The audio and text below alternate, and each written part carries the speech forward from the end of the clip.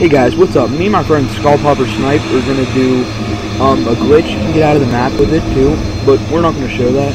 Um, you get you spawn a bunker box, and then you spawn a man cannon vehicle, and you put it inside the bunker box, and then you put them both on. Like you want to put them both on fixed, and then change them both back to normal, normal like and then what you want to do, once you have them on normal, you want to pick both of them up, press A on the, the bunker, and then press A again, and then press A on the man cannon, and then press it again,